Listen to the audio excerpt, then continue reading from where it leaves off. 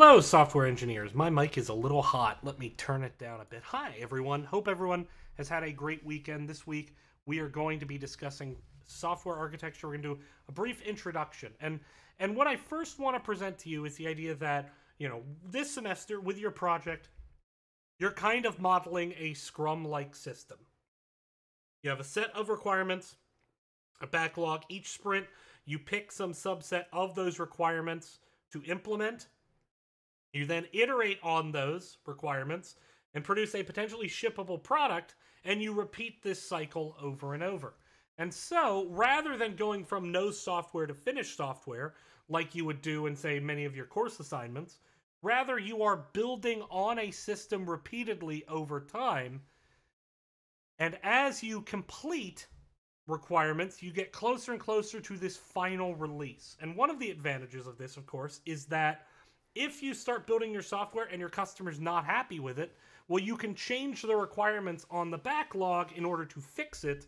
So this type of design practice or this type of implementation practice is more receptive to change. But this means we necessarily need to go back and change our software. And, and the question is, how do we go from requirements to workable, working, modifiable software. What do I mean by modifiable?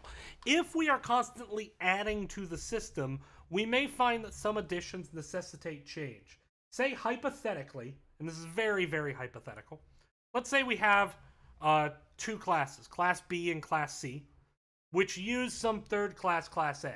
This is called a dependency. Because B uses A and C uses A, B depends on A and C depends on A. And what this means is that if Class A has to change its interface, that is to say what functions it has available, that will necessitate changes to Class B and C. The opposite is not true. If I need to make changes to Class B, I don't necessarily need to change anything in Class A. There might be some changes I need to make that necessitate it, but it's not necessary. If I make changes to the interface in Class A, changes to B and C will very likely be necessary. And let's say that we, we add some third, fourth class, Class D. And Class D also uses Class A, but because of uh, some extra information Class D needs, or some extra information it provides, we need to modify the interface of Class A. Let's say add a third uh, argument to this func1 function. Well, now if B and C use this function, B and C have to be updated to include that extra argument. So necessarily, by just adding class D to A and making one change to A, I potentially now have to change B and C. Like a still pond, if you drop a stone in it, the water ripples outward. And what we want to do when we build our software is we want to avoid a situation where the pond gets bigger and bigger, and so the ripples spread farther. And so, what we want to do is we want to think about design, and the first step of design, which is what this is going from requirements to being able to implement a system, that is what design is going to do. It's going to think about how we build our system in order to ensure the system can't be modified later with hopefully as little change as possible. So we want to design a flexible system that can be changed to meet new requirements or changing requirements, requirements that aren't initially known, because that's the point of Agile, to be able to respond to that. And the first step of this design process is selecting the correct architecture. You don't just start, if we're talking about construction, you don't just start building a skyscraper and figure out the architecture as you go. The first thing you have to do is sit down and design the system with the architect. And that's what we're going to talk about. So, as software grows, it will be harder to make changes to the existing system. And this is a, a thing called software entropy. As a software system ages, by ages, we don't just mean time. By ages, we specifically mean as you make changes to the system, as you add classes, change functions, fix bugs, whatever any changes to the system over time become increasingly risky to propagate, to spread out and cause you to have to change large factors of the system. And having to change other parts of the system to accommodate one change is bad. But it sometimes happens. If we select the correct architecture and the correct design, we can limit that. But as our system ages, these events will happen more and more. So, where to begin?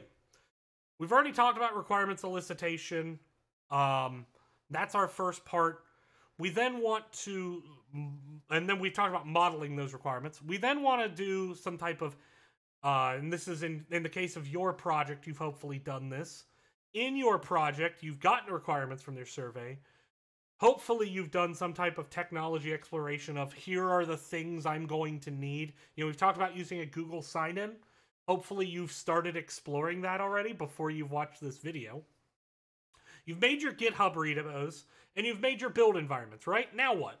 Well, if this were a small project, one or two person, so not not your group of four, one or two, what would you do? Well, you would start by designing the system, and we can talk about design at very different levels. First, we can talk about system architecture. System architecture is is very very high level design complex systems. It often talks about the business processes. Here we're talking about like, you know, how the system is going to be used externally, not just within the software. You know, who, who's going to inter- interact with the system? Who are the stakeholders? How are they going to interact? What are they going to do? That's that's talking about the system as a whole. Um, from there, we can get into the actual high level design, and we're going to start talking about uh, soon terms like modularity uh, and how that helps build good software design. We'll talk about what data sources to use, how those data sources are going to be built and interacted with, uh, what internal interfaces are going to exist. That is, uh, how different components interact with each other, as well as external interfaces. How is the system going to be interacted with by the user? Maybe if there's some hardware component, like if you're building an autonomous car, the hardware features need to be incorporated into this design, the cameras, etc. And that's separate from low level design because in low level, we're specifically talking about like what algorithm should we use? What data structure should be used? At high level, we're more talking about, if you think about it in terms of classes, how these classes interact. And how groups of classes interact, how groups of classes that form a component interact, etc. So now, uh, what are the system architecture or system engineering aspects of your project? Pause for a moment and really think about this. Hopefully, you've started actually implementing something. What is the architecture that you have planned? Or do you have one planned? What are the system engineering aspects of your project. So, so, we, so system architecture, system engineering, we've kind of decided a bit for you, right? You, you know, you're building a Django app. You, this is going to be used within a web browser, right? Who are the stakeholders? Pause the video for a second. Here, pause. Pause the video for a second and really think about what are the system architecture points of your system? What are what are what is the who are the stakeholders? How are they going to interact with the system? Think about that.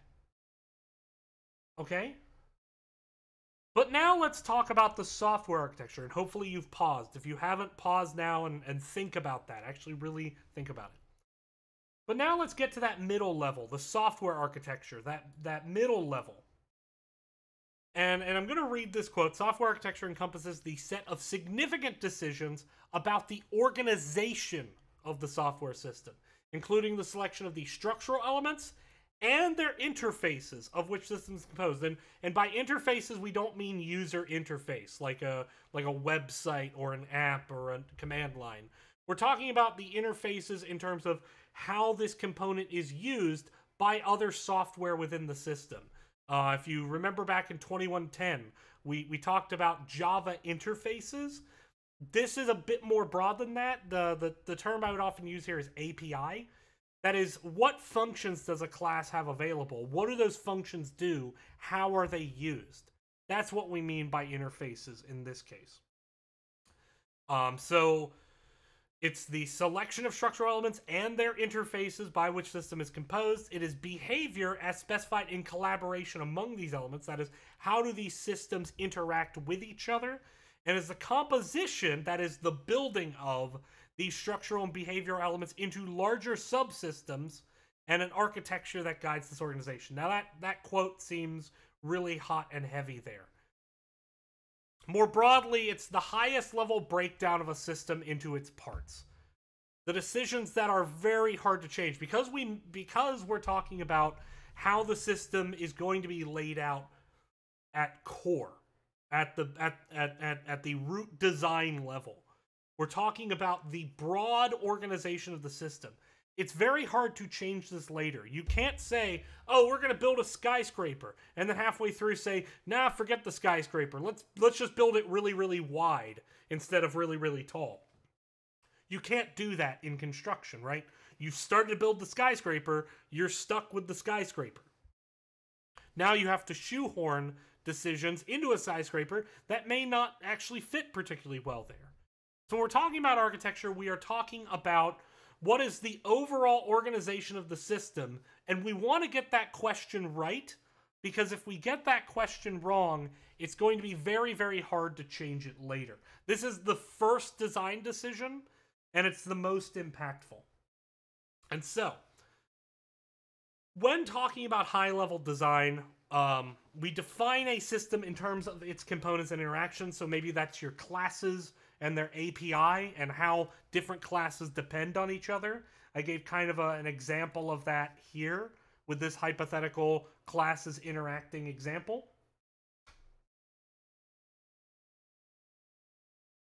And we can think of components within the system as either individual classes or collections of classes. So, for instance, you can have an independent program as a component. Like maybe your um, you know, using login through Google through Google login. In order to set that up, that's an independent program. You can't change that, but you have to incorporate that into your system. Different groups of modules in class that perform a task can be an example of a component. A client or a server can be an example of a component. Files, databases, examples of components. And the idea of the architecture is how do we make these things interact? Interactions can be calling a procedure from a class or from an independent program. Or it could be communication between the components. One class communicates with the database, or one class communicates with another class, etc. So that's what we mean by architecture. And you can have a high level and a low level architecture in a system. You can say the overall thing is structured as a, as a MVC, but individual components are three tier architecture, whatever. But let's think about it right now. I want you to take a second and think about how you would describe the architecture of your system so far. Pause the video. Now, some of you may have found that question hard to answer. Because after all, you're used to, you know, building quick disposable projects for the purposes of classes, right? Quick disposable software. And so you haven't really had to think about architecture. In fact, in 2110, we we told you what the architecture was. I know. In in 1110, you didn't even have to worry about architecture at all. You you only had a single program. You didn't have multiple classes interacting. So, what is the architecture of a system? May be a hard question for you to answer because you you haven't ever thought of it necessarily before. Now, the first question is: Do all your projects need to have the same architecture? And I'm shrinking my face there a bit. Uh, you know, I'm, I'm crushing your head. I'm crushing your head. No, um, there are going to be common elements among projects of even different types, but you will be making different decisions. So we're going to talk a bit about reference architecture here in a second. Um, the reference architecture of how web apps are often made. And this captures the fundamental uh, relationships and subsystems that are going to be existing pretty much in any system in, in, in any domain that you're building with, with say a web app. Um, so this is the reference architecture example. Uh, and this is a generic web browser. And different web browsers implement this differently. But the idea is the user interface, that's what you're seeing on the screen. That's the top level. That uses the browser engine. But the nice thing is, if the user interface changes, we don't actually have to change the browser engine. That's actually a, a pretty advantageous thing. Going back to our example about dependencies, the user interface depends on the browser engine, not the other way around. And since the user interface is likely to change to meet particular needs, it's helpful to think of it as a separate entity. So we have broadly a user interface that works with the browser engine. The browser engine works uh, it works with the rendering engine that actually produces the display. It uses, you know, all these different tools to produce what the user should see, drops into the display backend, which the user interface references to pull up. Then from there, the user and the browser may both work with some particular shared set of data. And this is a generic web browser architecture, broadly. You can see here that we have Mozilla, and if you're not getting what every single one of these things does yet, don't worry too, too much yet. Uh, so here, for example, is Mozilla. Here's the user interface. Inside of Gecko is both the browser engine and the rendering engine. We have systems that deal with communicating over the network, systems that do JavaScript interpretation, systems that parse XML files or, da- or data files, um, etc. Netscape, this one's a lot more complicated, Netscape Navigator, and it's a lot older. And it's why uh, we don't use it as much anymore. Not a lot of systems are, are built with that in mind. But most likely, you probably weren't thinking of an architecture like this. Most likely, your architecture probably looks something like this so far. Although you may you probably don't even have this many services yet. And this is called a big ball of mud. And a big ball of mud is what we would call an architectural anti-pattern. We're going to talk about architectural patterns here in a second. The idea of a pattern is it is kind of a good guiding principle or guide or set of guidelines of how to design a system. It is a pattern that has been learned to be effective because it gets used repeatedly. The big ball of mud is an anti-pattern because it doesn't do any of those things. The big ball of mud is this. You add classes as you think of them. Pardon me. You add classes as you think of them. You add services as you need them and you don't really pre-plan in advance where they are going to go. You just kind of slap them on. Think of it kind of like sticky notes. You just put it on the surface. The problem with the big ball of mud is that it has basically no thought in the future to how the system will evolve over time. And as a result of that, you end up with a lot of interdependencies. You end up with a lot of classes depending on a lot of other classes, and one change will necessarily propagate very far and wide, and it can make the system even even more expensive to maintain later on. This leads to higher entropy. Whereas something like this reference architecture, this would be, say, a reference uh, architecture to a generic web browser, by planning out how these systems going to react broadly. And again, these components are, may not be individual classes. They may be groups of classes, services, whatever. The point is, by planning to organize these things in this way, and by making sure that we have one directional dependencies, we can limit the propagation of changes. Um, you know, so that's why when we talk about Net, Netscape Navigator, like, yeah, this is bad. It's full of tons of interdependencies. It's hard to read for that very reason. So, an architectural pattern is a strategy for how to solve a common problem. I have these components that I want to combine. It is not a fully coded or implemented system. Rather, it is an idea. It is a pattern that omits the implementation details. It's intentionally vague, but that's because you think of the pattern as the idea that you implement. Um, so there are some examples of patterns in architecture. There's also design patterns, how we organize specific components or specific features. And we're going to definitely talk a lot about design patterns. But architectural patterns are just broad uh, organizational structures for the system. An example would be something like a peer to peer architecture. The idea of a peer to peer architecture is you have multiple computers communicating with each other over some shared network. Often that shared network is the internet as a whole, the World Wide Web. And so you communicate to other systems via input and output. And this allows, um, you know, you can synchronize different applications. You can distribute the load of the system. So if you have a system where you need a lot of individual systems interacting together, and you want to distribute the load of some work and you want to have some agreement with how that's distributed, you may use a peer to peer architecture where you have some network that computers are communicating with each other over. And you will design the app by designing what features are the computer doing, what is the input and output to the network that the computers are going to perform.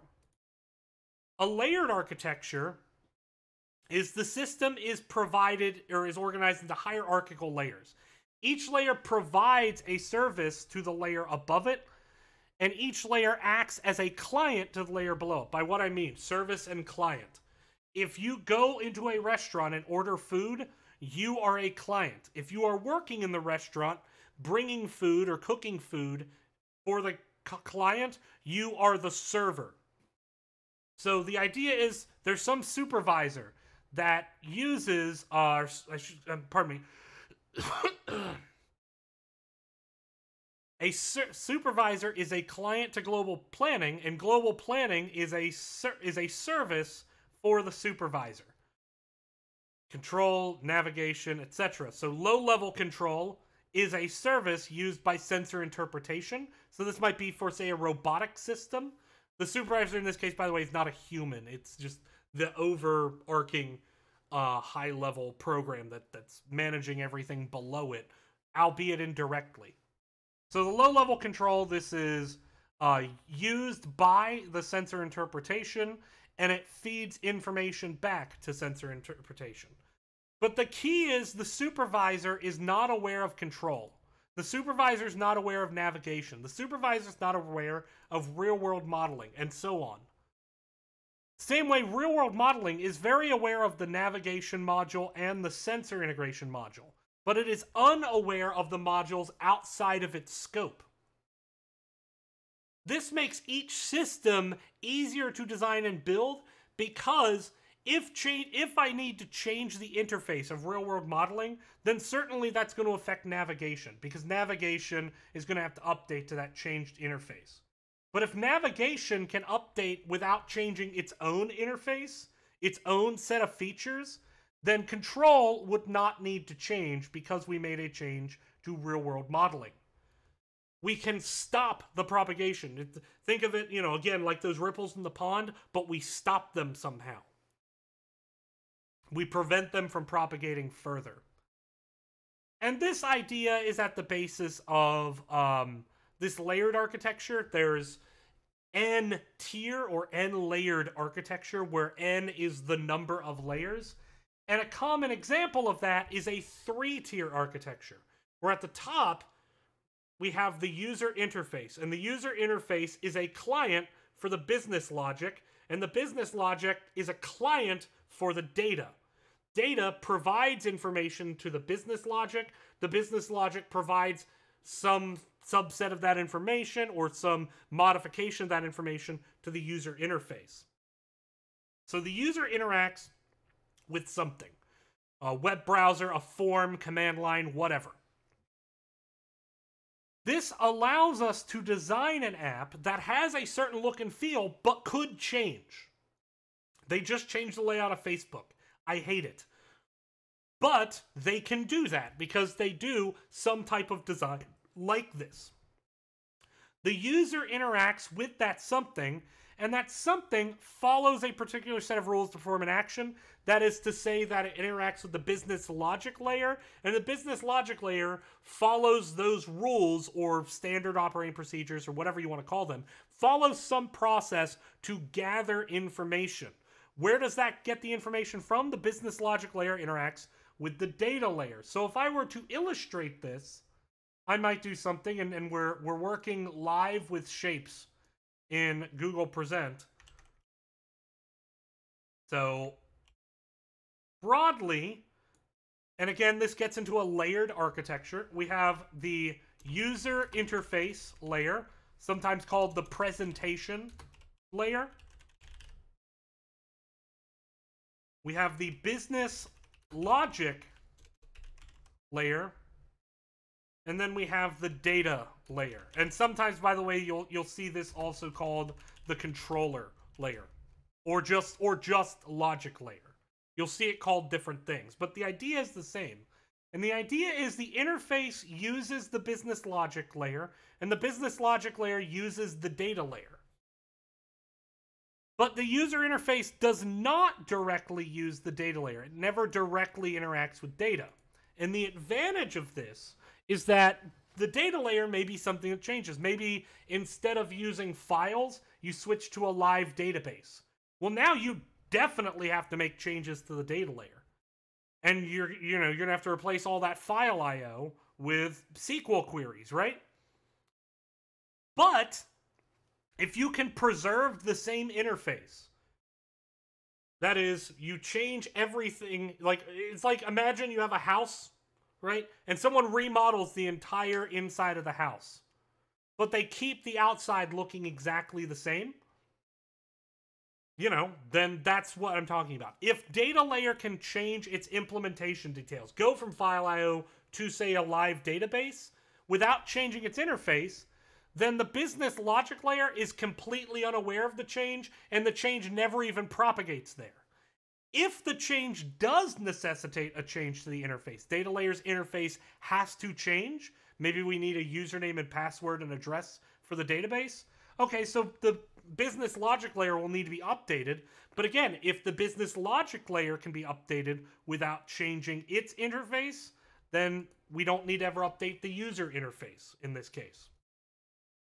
So everything uses the thing below it, but the advantage is in a, in a layered architecture, the data layer doesn't even need to necessarily be aware the controller layer exists. A change to the user interface will not necessarily result, and, and almost never will result in necessarily changing anything in the next layer down. Changes tend to, you can have a change that propagates up, but it's much less likely to propagate down. Why why are we spending all this time talking about this? Because the, the, we want to have desirable attributes in our system. Because remember, we want to make our software modifiable. We want to have as few ripples in our pond as possible every time we make a change. So in order to do this, we need to have good modularity, which we will talk about. We'll we'll talk about it. I promise. You um we want to be dry, so you want to be dry as opposed to wet, wet, write everything twice, write everything thrice, etc. You want to write something one time. We want to separate our concerns. The idea is each component should deal with one concern or one subset of concerns. It shouldn't deal with everything. You want to hide design decisions. By that I mean, you may be thinking, wait, we just spent a lot of time modeling design decisions. We're not talking about hiding it from the developers. We're saying that one class should be as aware of the rest of the system as little as possible. In order to design our system well, we want as few dependencies as we can have. We will necessarily have dependencies.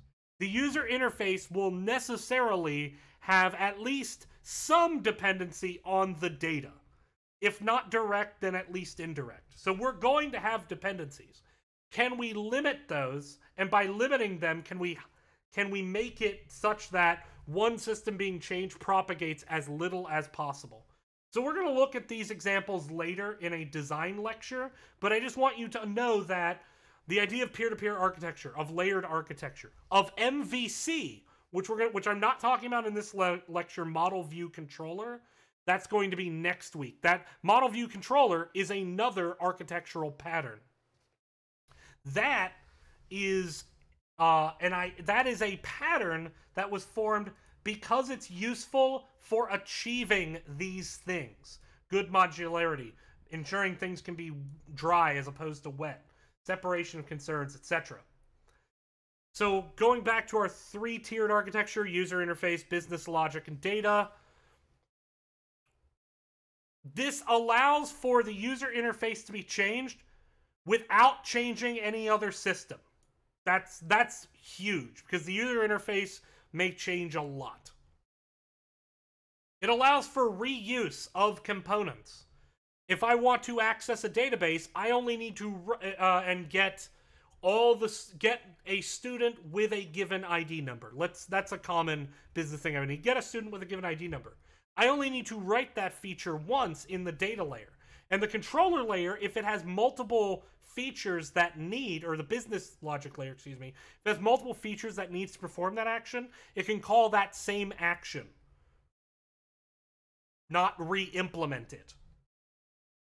It allows teams to work independent on each component. The user interface team can be separate from the business logic team, can be separate from the data team, and it's extendable. That is to say, it's easily changeable. We can add more layers if we need to. Why three layers? Why not four? if we feel that we have valid design reasons to do so. Uh, but it's also just easily modifiable over time. Uh, so we will talk a lot about MVC, which I didn't mention is another architectural pattern. We're going to talk about that a lot next week. But the next video I'm going to put out, and I will put this out uh, very, very shortly, is going to be looking at an example of three-tier architecture in Java an actual implementation of it. Uh, it's going to be a very rough, simple implementation, but it's just designed to show you the advantages, to show you what we mean very practically at a code level when we talk about things like reuse, we talk about allowing for change, etc. So I hope you watch that video when it comes out. I hope you enjoyed this one, and thank you for watching. Take care.